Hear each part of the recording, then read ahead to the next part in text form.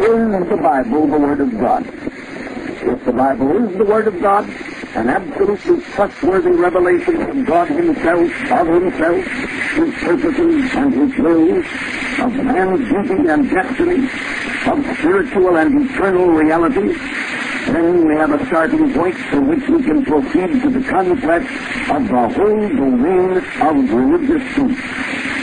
But if the Bible is not the Word of God, it is the mere product of man's thinking, speculating, and guessing, not altogether trustworthy in regard to religious and eternal truth, then we're all at sea, not knowing whither we are drifting.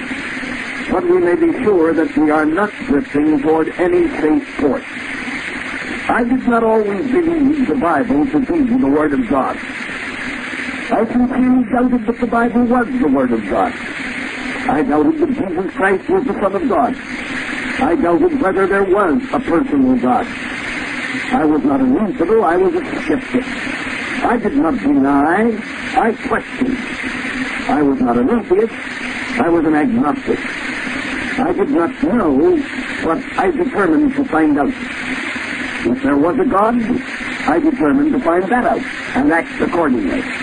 If there was not a God, I determined to find that out and act accordingly.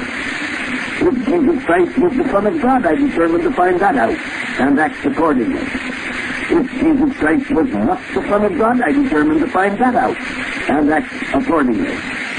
If the Bible was the Word of God, I determined to find that out and act accordingly. And if the Bible was not the Word of God, I determined to find that out and act accordingly. I found out. I found out beyond a peradventure that there is a God, that Jesus Christ is the Son of God, that the Bible is the Word of God. Today it's with me not a matter of mere probability or even of mere belief, but of absolute certainty. I'm going to give you some of the reasons why I believe the Bible to be the Word of God. Not all the reasons. It would take months to do that. Not even the reasons which are the most conclusive to me personally.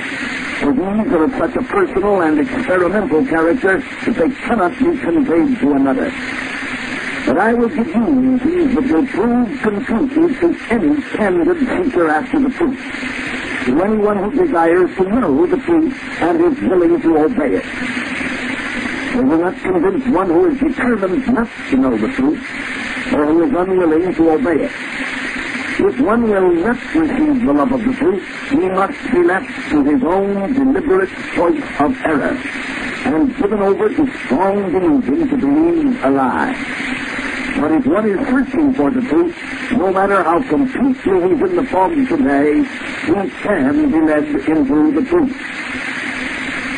I believe the Bible to be the Word of God, first of all, because of the testimony of Jesus Christ to that fact. We live in a day in which many men say that they accept the teaching of Jesus Christ, but that they do not accept the teaching of the whole Bible. They say that they believe what Jesus Christ says. But as to what Moses said or is said to have said, and what Isaiah said or is said to have said, and what Jeremiah said, and Paul said, and John said, and the rest of the Bible writers, they, they do not know about that. Now this position may at the first glance seem rational, but in point of fact it is utterly irrational. If we accept the teaching of Jesus Christ, we must accept the whole Bible. For Jesus Christ has set his stamp of his authority upon the entire book. And if we accept his authority, we must accept all that upon which he sets the stamp of his authority. As to Christ's endorsement of the Old Testament, turn first of all to Mark 7, 13. Jesus has just quoted from the law of Moses. Not merely from the Ten Commandments, but from other portions of the law of Moses as well. He has set over against the teaching of the law of Moses the traditions of the Pharisees and scribes. And in this verse he says, Ye do make the word of God of none effect through your tradition. Now here he distinctly calls the law of Moses the word of God. It is oftentimes said that the Bible nowhere claims to be the Word of God. Now here Jesus Christ himself distinctly asserts that the law of Moses is the Word of God. If then we accept the authority of Jesus Christ, we must accept the law of Moses as the Word of God. Course, this only covers the first five books of the Old Testament, but if we can accept this as the Word of God, we will have little difficulty with the rest of the Old Testament, for it is here that the hottest battle is being fought today. Turn again to Matthew 5.18. Here Jesus says, Till heaven and earth pass away, one jot or one tittle shall in no wise pass from the law until all be fulfilled. Now every Hebrew scholar knows that a jot is the Hebrew character yod, the smallest character in the Hebrew alphabet. Less than half the size of any other character in the Hebrew alphabet.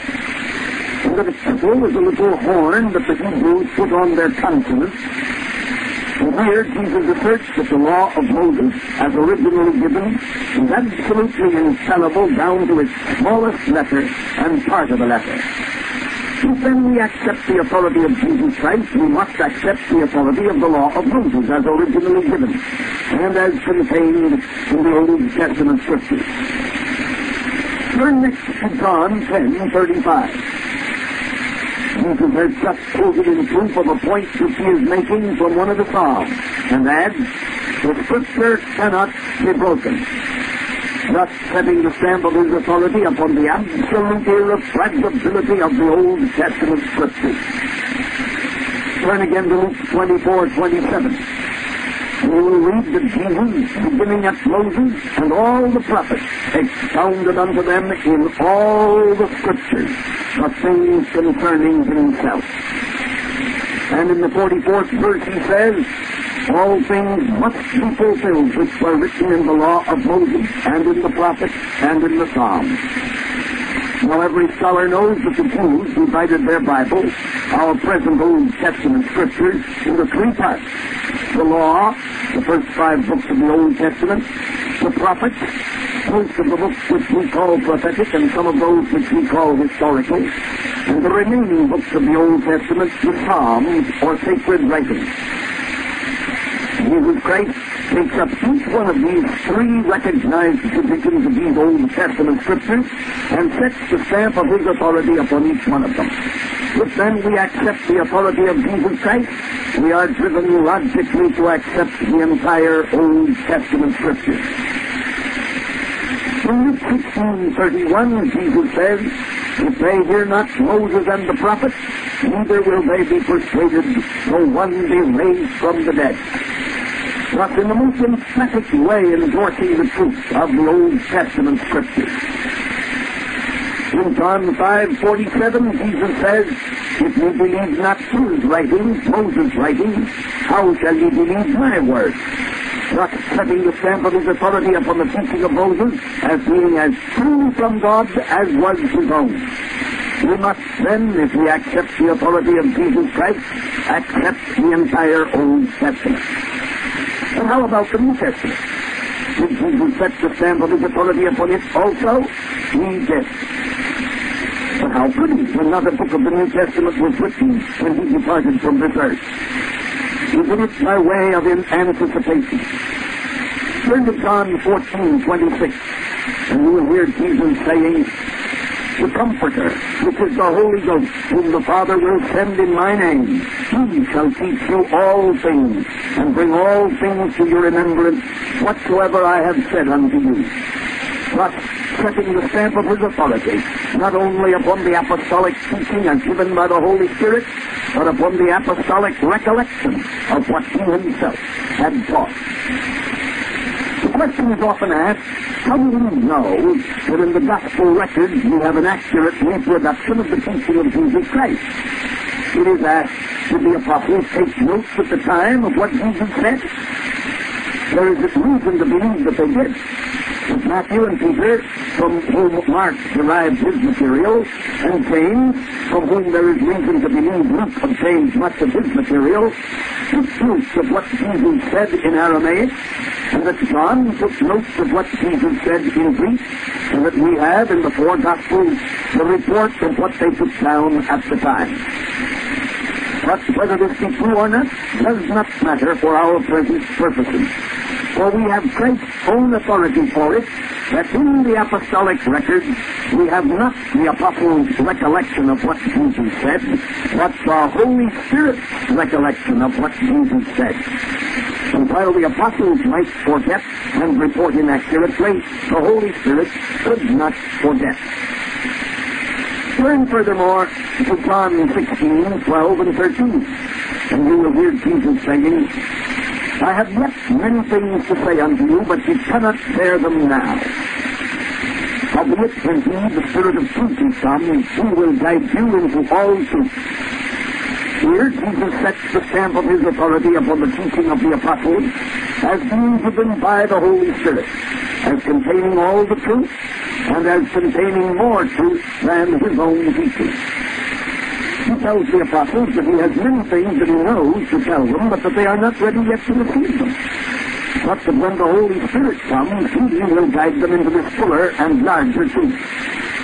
If then we accept the authority of Jesus Christ, we must accept the apostolic teaching, the New Testament writings, as being given through the Holy Spirit, as containing all the truth, and as containing more truth than Jesus taught while on earth. There are many in our day who cry, back to Christ, back to Christ, by which they usually mean we do not care what Paul thought, or what John thought, or what James thought, or what Jude taught. We do not know about them. Let us go back to Christ, the original source of authority, and accept what he taught, and that alone. Very well, back to Christ. The cry is not a bad one. But when you get back to you hear Christ himself saying, On to the apostles. They have more truth to teach than I have taught. The Holy Spirit has taught them all the truth. Listen to them. If then we accept the authority of Jesus Christ, we are driven to accept the authority of the entire New Testament. So then, if we accept the teaching of Jesus Christ, we must accept the entire Old Testament and the entire New Testament. It is either Christ and the whole Bible, or no Bible and no Christ. There are some in these days who say that they believe in Christ, but not in the Christ of the New Testament. But there is no Christ but the Christ of the New Testament. Any other Christ than the Christ of the New Testament is a pure figment of the imagination.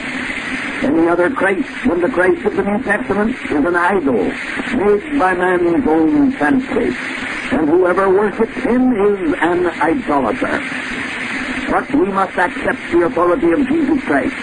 He is accredited to us by five unmistakable divine testimonies. First, Christ is accredited to us by the testimony of the divine life that he lived. For he lived as never man lived. When any man takes the four Gospels for himself and reads them carefully and candidly, he will soon be convinced of two things. First, that he's reading the story of a life actually lived. If no man could have imagined the character there set forth unless the life had been actually lived. Much less could four men have imagined the character, each one of the four making his own account of that character, not only consistent with himself, but consistent with the other three. To suppose that these four men who wrote the Gospels imagined the life here set forth would be to suppose a greater miracle than any recorded in the Gospels. We will see in the second place that the life here set forth is apart from all other human lives that it stands by itself, that it is manifestly a divine life, lived under human conditions. Napoleon Bonaparte was a good judge of men. He once said regarding the life of Jesus as recorded in the Gospels, which he had been reading, I know men, and Jesus Christ was not a man. What he meant was, of course, that Jesus Christ was not a mere man. Secondly, Jesus Christ is accredited to us by the divine word that he spoke. If anyone will study the teaching of Jesus Christ with candor and faithfulness, he will soon see that it has a character that distinguishes it from all other teachings ever uttered upon the earth. Third, Jesus Christ was accredited to us by the divine work that he wrought. Not only healing the sick, which many others have done, but cleansing the leper, opening the eyes of the blind, raising the dead, stilling the tempest by a word, turning water into wine, and feeding five thousand with five small loaves and two small fishes, which was a creative act. These miracles of power are clear credentials of God come to teach. We not study them candidly and not come to the same conclusion as Nicodemus did. We know that thou art a teacher come from God, for no man can do these signs that thou doest except God be with him. Of course, we bear in mind the fact that strenuous efforts have been made to eliminate the supernatural elements from the story of the life of Jesus Christ. But all these efforts have resulted in failure, and all similar efforts must result in failure. One of the most feeble efforts of this kind that was ever made was that of the great German theologian David Strauss in his Leben Jesu.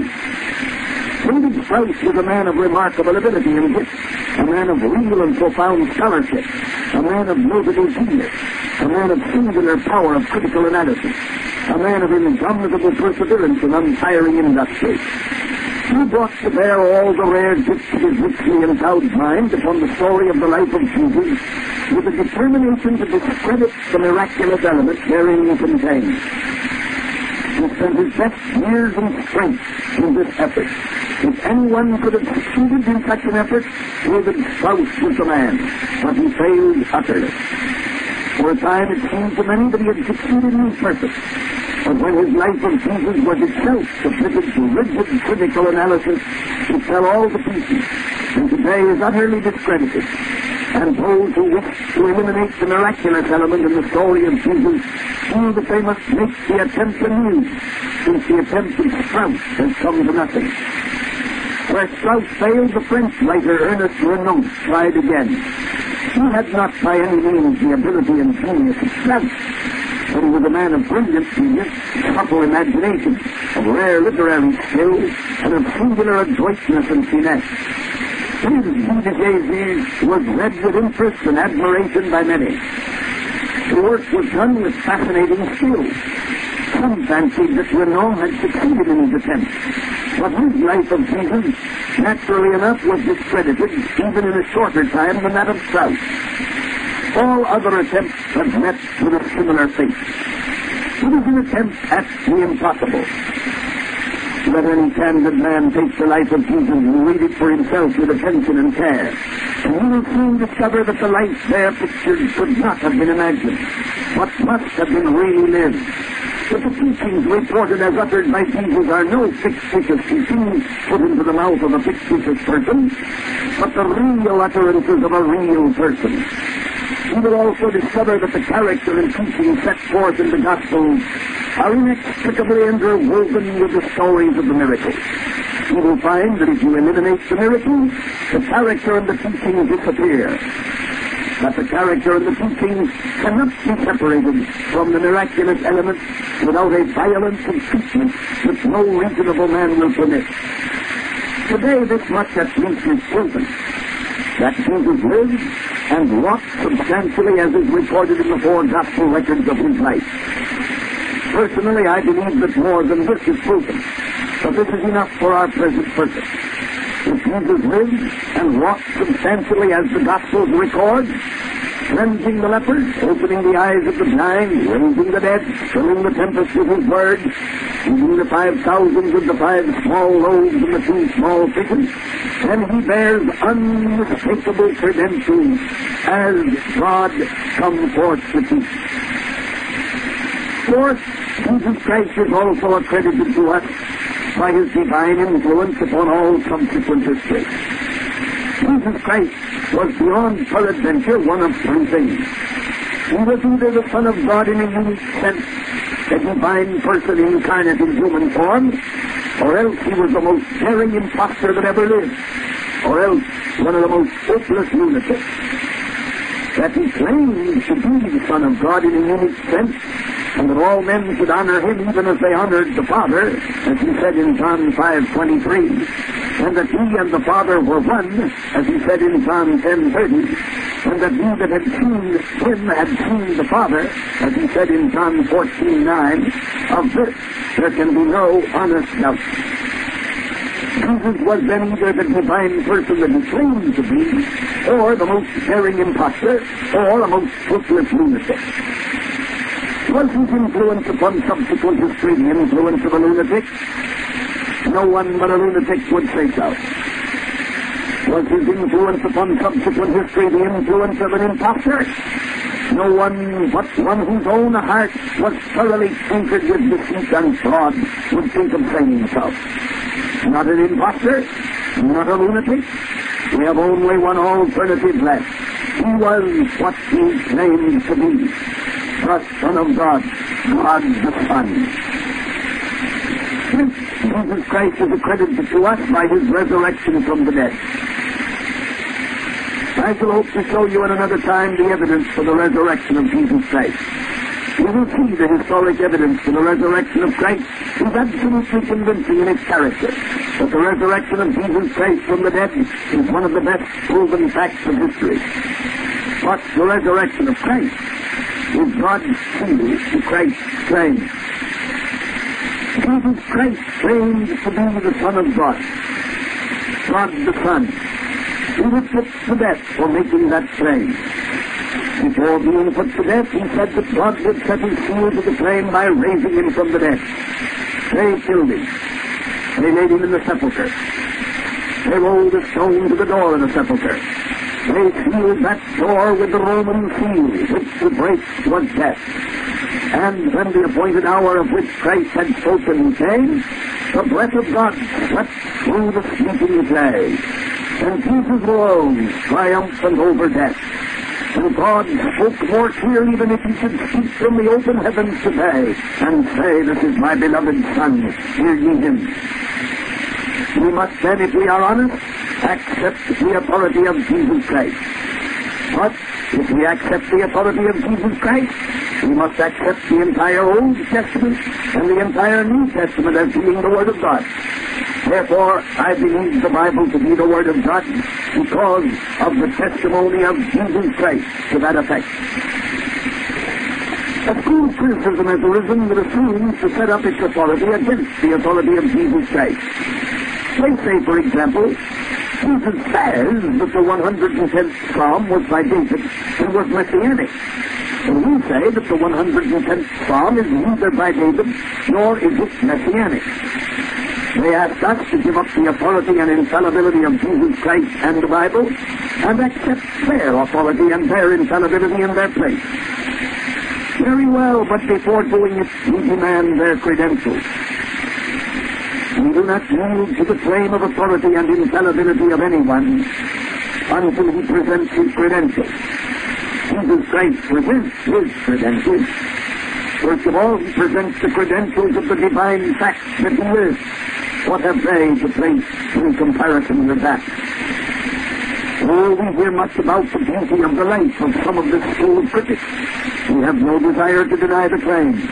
But against the beauty of their lives, we put the life of Jesus, which suffers by the comparison. If there is any force in the argument, and if a man's life is in the right, his doctrine cannot be in the wrong, and there is force in the argument, it bears immeasurably more for the authority of Jesus Christ than it does for the authority of any critic or school of critics. Second, Jesus presents the credential of the divine words that he spoke. What have they to put up against that? The words of Jesus Christ have stood the test of 19 centuries and shine out with greater luster and glory today than ever. School of criticism has ever stood the test of, of 19 centuries?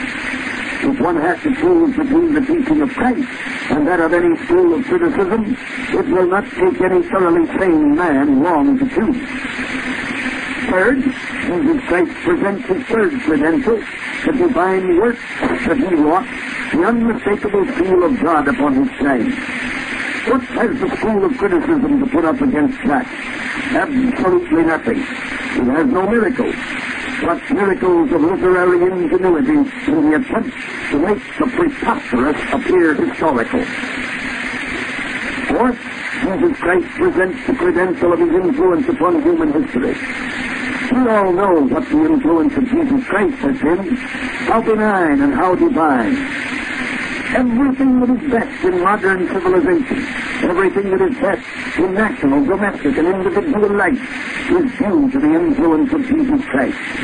Alas, we also know the influence of the school of criticism. We know that it is weakening the power of ministers and Christian workers everywhere. We know that it is emptying churches. We know that it is depleting missionary treasuries. We know that it is paralyzing missionary efforts in every field where it has gone. I know this by personal observation and not by hearsay. This may not be their intention. With some of them it is not their intention, but nonetheless it is a fact. The influence of Jesus has been thoroughly beneficent. The influence of this school of criticism is utterly bad. Fifth, Jesus presents his fifth credential, his resurrection from the dead. What has the school of criticism to set up over against that? Nothing whatever. Jesus Christ established his claim. The opposing school of criticism stands dumb. Therefore we refuse to bow to the assumed and unsubstantiated authority and infallibility of any school of criticism, of any priest or pope or theological professor, but most gladly do we bow to the authority and infallibility of Jesus Christ, completely proven, and upon his authority we accept the entire Old Testament and the entire New Testament as the Word of God.